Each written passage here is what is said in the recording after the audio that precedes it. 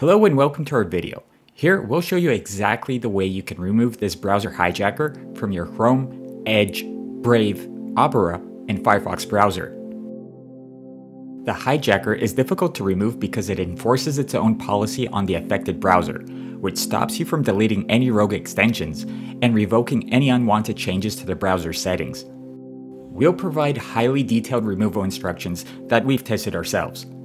However, Hijackers change and evolve all the time, so despite our best efforts, we can't guarantee the success in all cases. If the suggested steps don't solve everything, we recommend installing an anti-malware program to do everything for you. Our top recommendation is SpyHunter, which offers a free trial period.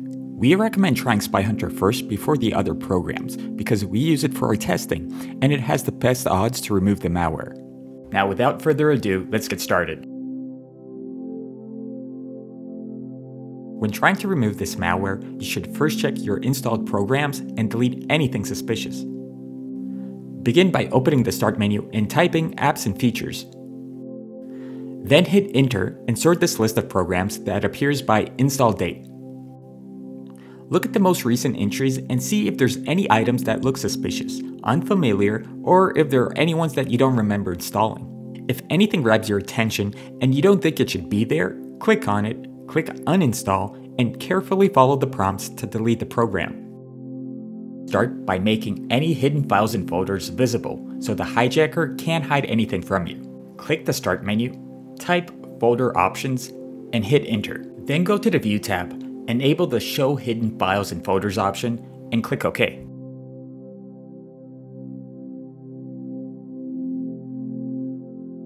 The next thing you need to search for in the Start menu is the Task Scheduler.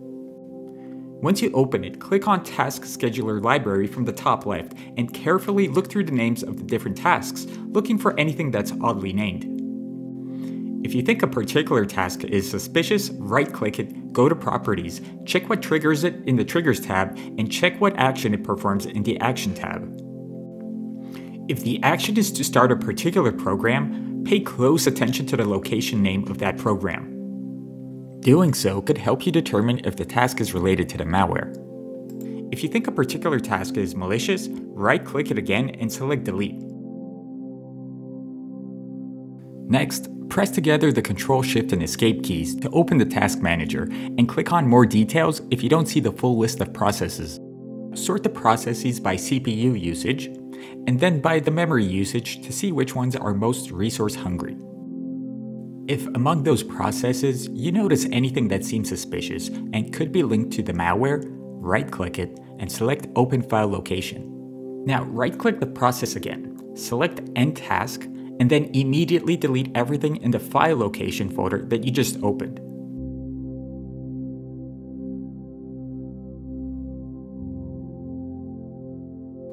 If you're not allowed to delete a particular file or folder, Download the Lock Hunter tool through the link in the description and install it. Then right-click the file or folder you can't delete. Click on the What's Locking It option, and then click Delete in the next window. Do the same thing with all processes in the Task Manager that seem linked to the malware. Remember that the process name may differ from what you see in the video, so use your discretion and common sense to decide which ones to target. Next, go to your C drive, open the users folder, and then your admin folder. Go to the app data, open roaming, and look for any folders with unfamiliar names or names that seem like it's linked to the hijacker. If anything catches your attention, delete it, and if you aren't allowed to remove the folder, use Lock Hunter. Most hijackers nowadays will exploit the browser's policy feature to enforce their custom settings and prevent you from deleting their rogue extension. Because of this, you'll first need to unblock your browser by deleting such rogue policies before you can restore its regular settings and eliminate any hijacker extensions. Go to the Start menu, type Edit Group Policy and press Enter. Then expand the computer configuration folder in the window that opens. Right-click on Administrative Templates, select Add Remove Templates, and see if there's any policy templates listed in the next window. Normally, if you're on your personal computer and you haven't initially installed any custom policies, anything you see in that list must be deleted. Just select the rogue policy and then click remove. Once nothing is left in the list, close everything, restart your computer, and go to the browser to see if the hijacker policy is gone.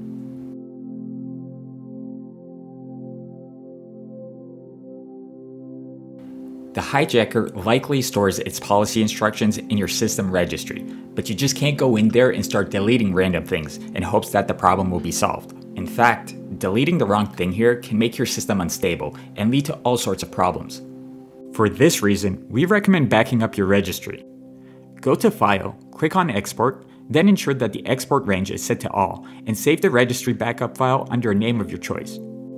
If you want to restore from the backup, go to File, Import, select the backup file, and click Open. Now to figure out what you need to delete, open your browser and go to one of these URLs, depending on what browser you're using. See if there are any rogue policies listed there with values made of random characters. Copy the respective value and paste it in a sticky note or a notepad file. Then go to the extensions page of your browser, turn on developer mode from the top, and check the IDs of any rogue extensions that you aren't allowed to remove.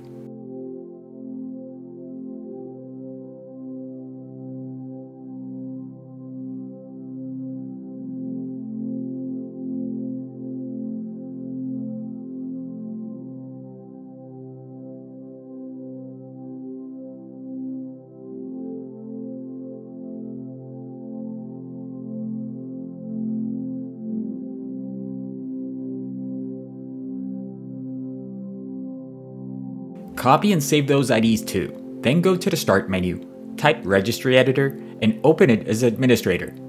Press Ctrl plus F, paste the first policy value you saved, and click Find Next. If the search finds anything, delete it. Then rinse and repeat until you've deleted all related items. Do the same with all other policy values and extension IDs that you collected. Next, navigate to the registry editor paths you see on your screen and check them for registry subfolders, also known as keys, that have the name as the affected browser.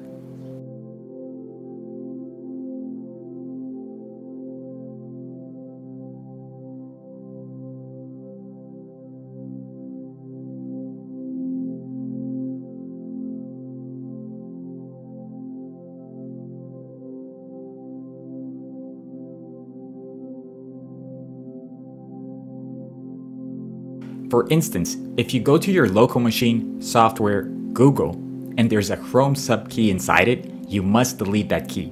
Finally, go to the registry key you see on your screen, select it, and see if there's a value named Cloud Management Enrollment Token in the right panel. If such a value exists, delete it. After all this is done, there should be no more registry keys that enforces the hijacker policy in your browser. If you don't like the manual policy removal methods, there's also a free automatic solution, but it only works for the Chrome browser. To use it, click the Chrome policy remover link in the description or Google it and go to its site. Then download the Windows version of the tool. It costs nothing and it's perfectly safe at the time of making this video. However, some more aggressive antiviruses might delete or quarantine it. If this happens, you'll need to temporarily disable your AV and re-download the app. Then open the policy remover as administrator and wait for its script to run automatically. You may need to press enter if the script doesn't start on its own. A few moments later, all policies should be removed from Chrome. You can close the command prompt window and proceed with cleaning up the browser. Now that you've performed a thorough system cleanup, all that's left to do is take care of your browser. This process is slightly different for each browser, so we'll show you how to clean Chrome, Firefox, and Edge.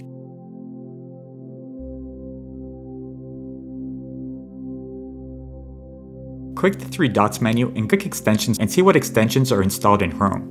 We recommend removing all extensions that you don't recognize, don't need, or don't remember installing. If clicking on the remove button doesn't directly delete the extension, then first click the toggle button to disable it, and then quickly click on remove again. Click the three dots menu and go to settings. Open privacy and security from the left and click on clear browser data. Make sure you're on the Advanced tab and check everything except passwords and other sign-in data and click the Clear Data button.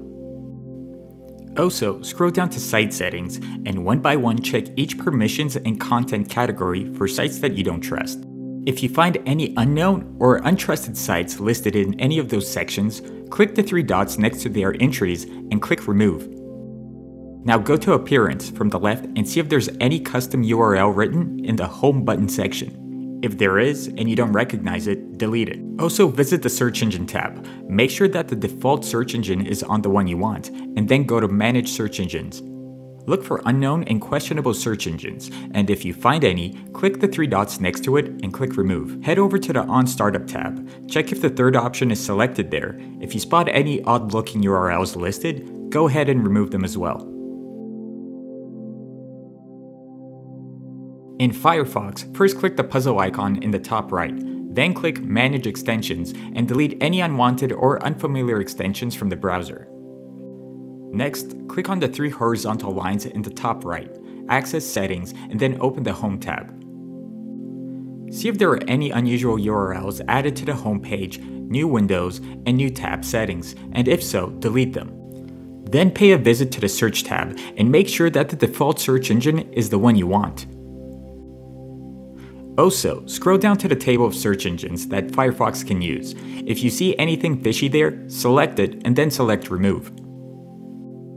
Moving to the privacy and security, scroll down until you get to the cookies and site data and click on Clear Data. Make sure that both boxes are checked and click on Clear. Lastly, go down to the permissions section, open the settings on each category, and remove any questionable URLs. Once you open Microsoft Edge, go to the three dots menu and click on Extensions, then click on Manage Extensions button when the pop-up appears. On the page that opens, look for suspicious extensions and delete anything you find. Then open the Edge menu again and click on Settings. First go to the Privacy tab. Click on Choose what to clear under Clear Browser Data, leave only passwords unchecked, and then click on Clear Now. Next, scroll down to the very bottom of this section and click on Address Bar and Search. Change the default search engine if you don't want or trust the current one, then click on Manage Search Engines. If you see anything sketchy there, click the three dots menu and click Remove.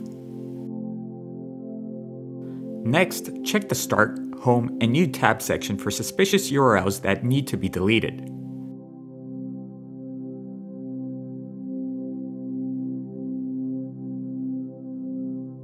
Finally, go down to the cookies and site permissions.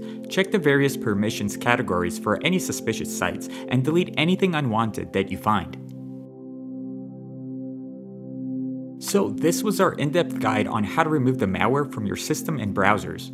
If you still have any questions, suggestions, or you have any other removal methods that could work here, be sure to leave them as a comment below.